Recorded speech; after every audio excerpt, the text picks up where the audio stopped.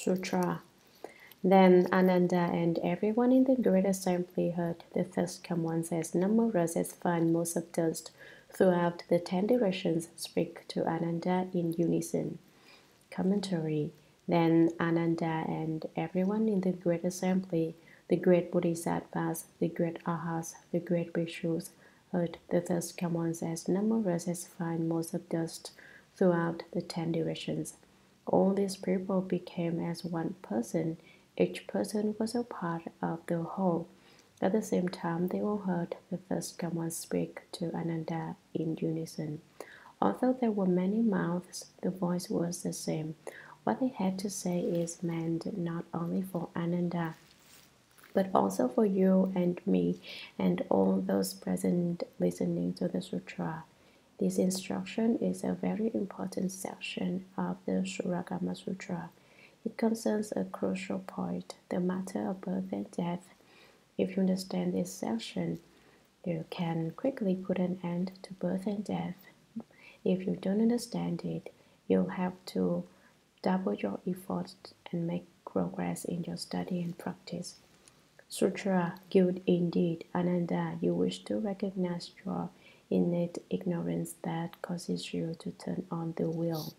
The origin of the knot of birth and death is simply your six sense organs and nothing else. Commentary These words make it absolutely crystal clear. It is stated as plainly as it can be. If we truly understand, understood it now, we would obtain liberation on the spot. If you haven't understood, you have to keep on investigating it. The third commands as numerous as motes of dust speak to Ananda with different mouths to a single voice. First of all, praising him. Good indeed, Ananda. They say like one would to a child. You are a good boy, very good, really smart. They praise and flatter him first to draw his attention, and once they've got his attention, they tell him the truth. You are very intelligent, Ananda, because you wish to recognize your innate ignorance. You want to know some genuine principle and learn about the ignorance that came with you at birth. It is also referred to as the ignorance which appears with production. It causes you to turn on the wheel of the six paths of rebirth, bobbing up and down, being born here, dying there, and then being reborn in yet another place in this life, perhaps a Westerner, in the next life a Chinese, in the next a Japanese, the one after that an Indian, and in the life after that an African. Who sent you out to do this? Who tells someone to become a Japanese? Who tells someone to be a Chinese? Who tells someone to be a Westerner or an Easterner? or a northerner or a southerner. Nothing else than your innate ignorance does it. Because there is ignorance, one gives rise to delusion, and upon the arising of delusion, one creates karma. Upon the creation of karma, one must undergo retribution. For instance, in this life, I go to Africa. There are a lot of diamonds there on the Gold Coast. There are more riches than are found in America.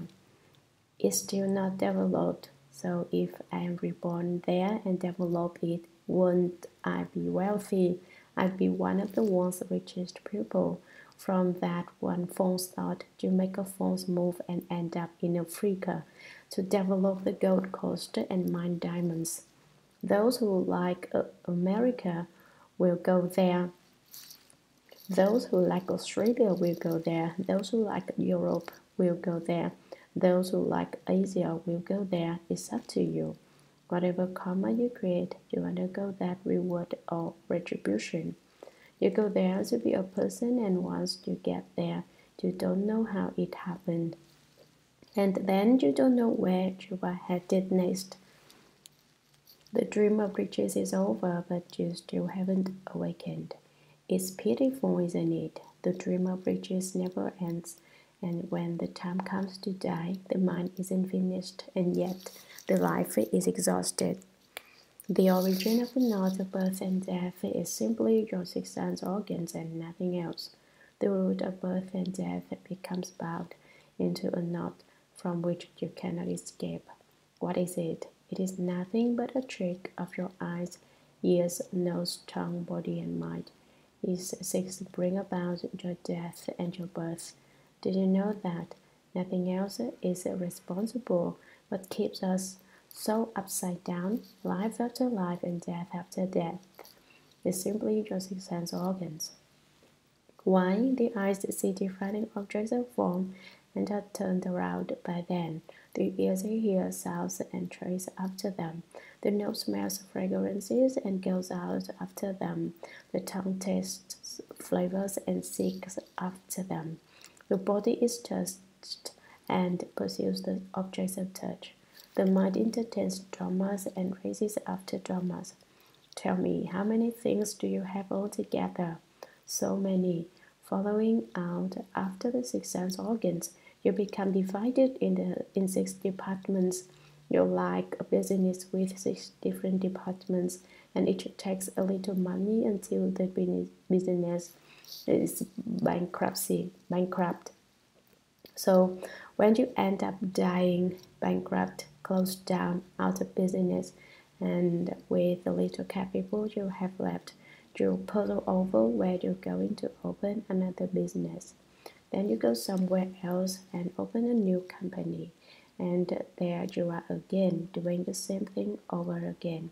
Six bosses are in their offices expecting to do good business, but in the end, it doesn't work out and the work stops again. That's where the problem of birth and death uh, comes from. Earlier in the sutra, the Buddha admonished you only need not follow. You shouldn't follow the discriminating mind. You should not pursue the activities of the six organs, the six objects, and the six consciousnesses. Don't go along with them. Turn around to the shore. The sea of suffering is boundless, but a turn of the head finds the shore. The turn of the head finds the shore of enlightenment. If you don't turn around, then the more confused you get, the deeper you go in. The deeper you go in, the more confused you get. You get into that to a lot of people, and your books are never in balance. Now that you recognize the six organs, you should not mistake a thief for your own son. Don't keep spinning around at the portals of the six organs. Come back, come back to where? To the Buddhist lecture hall. Sutra. You also want to understand unsurpassed Bodhi so that you can quickly realize bliss, liberation, tranquility, and wonderful eternity. It too is your six sense organs and nothing else. Commentary Just before, before this passage, the sutra said that it is the six sense organs that cause you to undergo birth and death, to give rise to delusion, to create karma, and to undergo retribution. But you should not despise the six sense organs. You can't say, Oh, you six things are horrible. I'm going to pluck out my eyes and pitch them someplace far away. I'm going to cut off my ears and cast them aside as well. I'll flop flop off my nose and cut out my tongue. In fact, I'll dismember my body and grind up my bones and be done with the whole thing. I'll shred my heart to pieces and scatter it into emptiness and let it return to the great void that way. That attitude is also a mistake. People who cultivate the way can't give rise to hatred Although the eyes, ears, nose, tongue, body, and mind don't treat you well, like in business, they are all embezzlers. Still, you don't fire them. Why not? Because although they are not good now, they will help you if you change. If they change and they stop their embezzling, they can help you make a profit. This section of text says that if you become enlightened and obtain permanence, bliss, true self, and purity, it is the six sense organs that bring about, bring it about.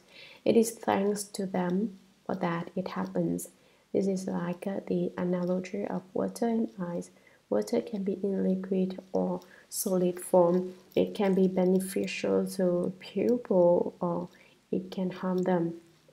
So you can't lose your temper and say you don't want your eyes and ears. If you don't want your eyes, don't become blind. If you don't want your ears, you go deaf. If you don't want your nose, you turn into some weird thing. If you don't want your tongue, you can't speak. And if you don't want your body, you wouldn't have anything at all. You turn into dull emptiness. No, nor can you do without your mental processes. Thus, the Buddhas of the ten directions now say to Ananda, you also want to understand the method for untying the knot, right? Notice that these two sections of the sutra are not spoken by Shakyamuni Buddha alone. It is the Buddhas of the ten directions, as numerous as most of dust, limitless and boundless numbers of Buddhas who are speaking now. Very good, Ananda. You are a fine person. You are truly a good cultivator. You also want to know about the unsurpassed Bodhi. The Bodhi referred to here is the cause for Bodhi. It cannot be explained as the Bodhi result in this case. The meaning is you also want to bring forth the resolve for unsurpassed Bodhi so that you can obtain the Bodhi result, so that you can quickly realize bliss, liberation, tranquility, and wonderful eternity. I assume that everyone understands what quickly means here, that everyone is eager to become a Buddha as soon as possible. The four virtues of Nirvana are what is meant here. Bliss is the virtue of bliss, while liberation is the virtue of true self. If you have a self, you are not free. If you want to obtain liberation, you have to be without a self. You obtain the true self and are liberated from the false self.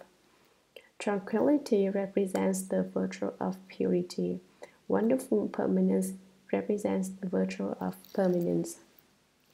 These are the four virtues of nirvana without residue, and it too is through six sense organs and nothing else. Do you understand now, Ananda? But after the Buddhas of the ten directions had spoken this doctrine, Ananda still didn't understand. When you are confused, then no matter how clearly someone may explain to you, you still do not understand it clearly yourself. What's this mean anyway? Birth and death are caused by the six sense organs, but when one becomes liberated and is certified to the fruition, it is also caused by the six sense organs. How can these six organs be responsible for what is bad and for what is good. He doesn't understand, but people can be both good and bad. Today, someone feels good and wants to help people. I want to give to the poor, he says, and he takes out his money and gives it away. But the next day he is broke and thinks, Yesterday I gave all my money away, today I don't have any to spend. I'll get my gun and go rob someone. So he turns into a bad person. Who was it who did good? It was he. Who was it who did bad things? It was he also. I say to you, then, the one who becomes a ghost is the same one who becomes a Buddha. But for the most part, part Americans don't believe in ghosts. Why do I keep bringing up ghosts even though you don't believe in them? Since I'm not a ghost, I dare talk about them. If you believe in the Buddha, you should also believe that there are ghosts. After all, Buddhas come from ghosts. If you do things well, you become a Buddha. If we don't do things well, you end up a ghost. By the same token, the six sense organs cause your births and deaths. They also bring about your certification to the fruition. If there aren't any ghosts, then there aren't any people either, or any Buddhas. There isn't anything at all, and the world will go to wreck and ruin.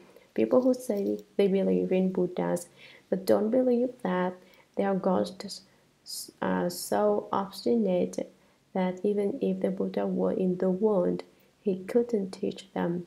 The Buddha says very clearly in the sutras that they are ghosts. Why don't you believe that they exist?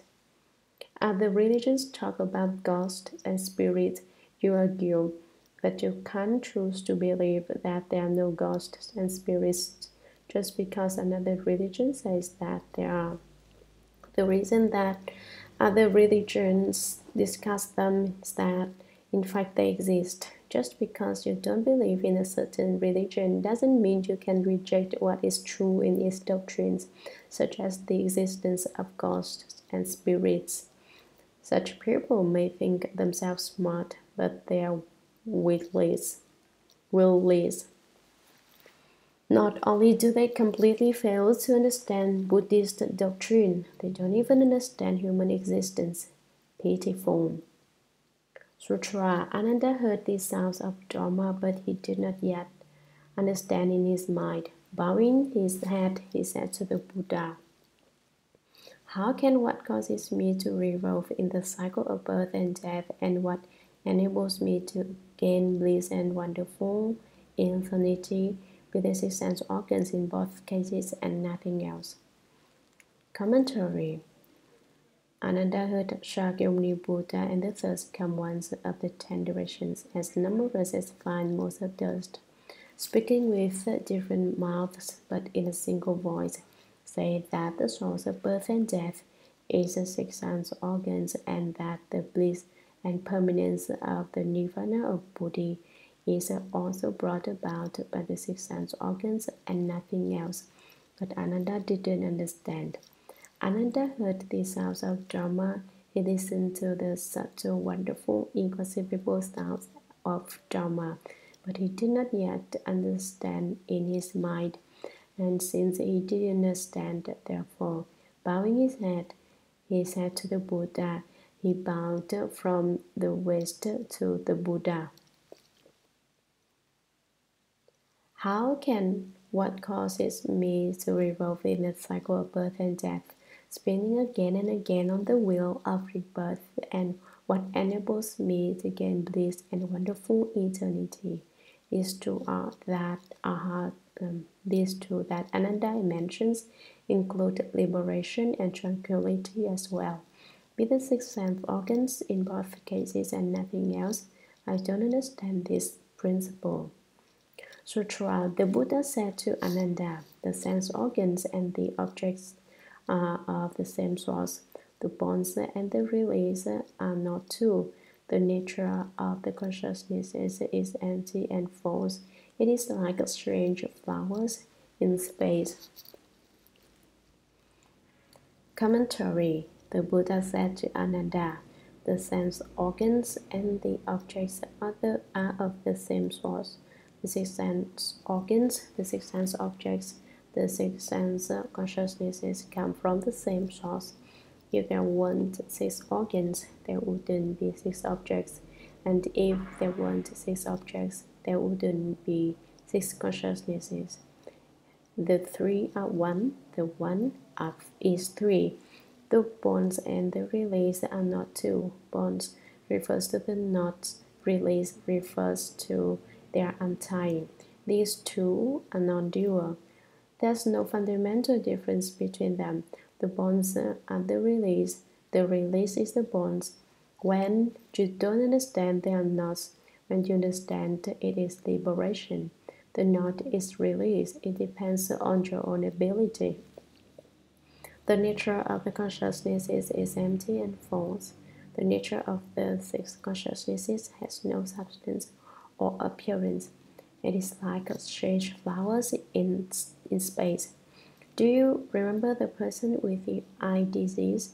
His staring caused fatigue and the appearance of strange flowers in space. The six organs, six objects, and six consciousnesses are just like the strange flowers in space. They're completely unreal in themselves. Good comes to them, and so does evil.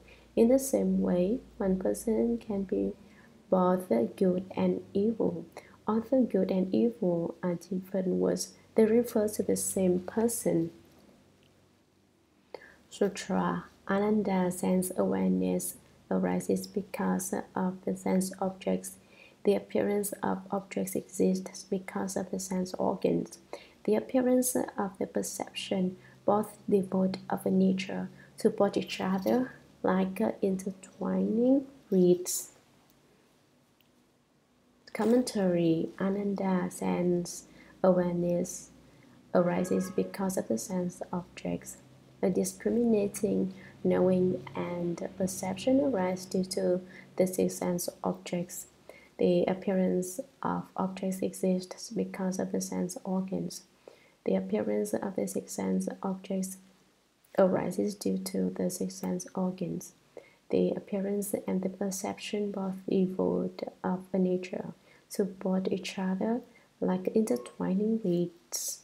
Perception here refers to the sense awareness first mentioned. Neither the appearance nor the awareness has an inherent self nature.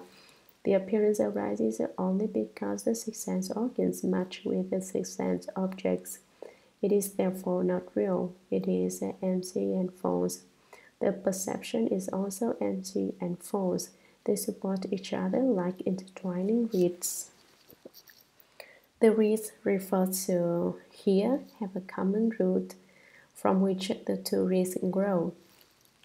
They will only stand if there are two. One by itself will fall down. The six organs, six objects, and six consciousnesses are the same way. The organs and objects must work together to bring about the six consciousness, consciousnesses. One alone will not stand.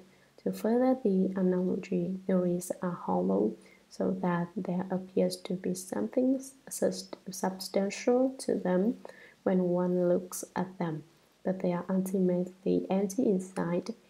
That represents the empty falseness of the six organs and objects. Sutra, therefore, you know, you now base your knowledge on awareness and perception, but that is fundamental ignorance. The absence of a view regarding awareness and perception is nirvana, the pure, the true purity of no outflows. How could there be anything else in the midst of it? Commentary. Therefore, you now base your knowledge on awareness and perception. You set up another awareness, awareness and perception based on an awareness and perception that are in themselves wrong but that is fundamental ignorance. The absence of a view regarding awareness and perception is nirvana. You realize that your awareness and perception are basically non existent, and so you establish no opinion based on them. To have no awareness and perception in the midst of awareness and perception is to be in accord with the way it is nirvana and the true purity of no outflows. How could there be anything else in the midst of it, in the midst of the absence of awareness and, and perception? How could you harbor anything else? That place is pure at its origin and pervades the Dharma Why would you want to add anything to it? Why add awareness and perception to awareness and perception? This principle is like the one in the passage above that states basic enlightenment is necessarily bright, but is falsely referred to as bright enlightenment.